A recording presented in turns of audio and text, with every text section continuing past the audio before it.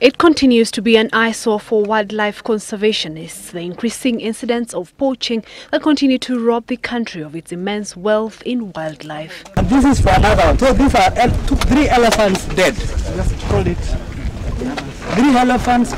The Kenya Wildlife Service Director William Kiprono was leading a team of wildlife officers to inspect yet another scene of crime within the Savo National Park, where a suspected poacher was gunned down after being found in possession of six tusks and three AK 47 rifles. But he was not alone. Four of his accomplices managed to get away.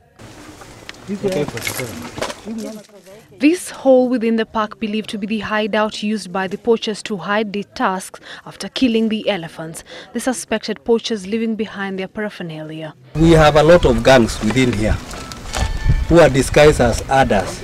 Barely a month ago, a family of 11 elephants was killed in this very park.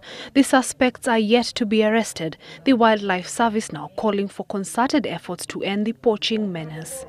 This is a war that is not going to be won by KWS alone. This is a Kenyan war.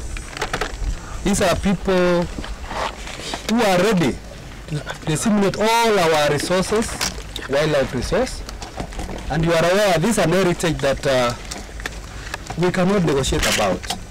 The moment we lose our wildlife, then reverting back to where we were will be a real problem. Tsavo East National Park alone covers a ground of approximately 17,747 square kilometers, but only has 300 rangers guarding it.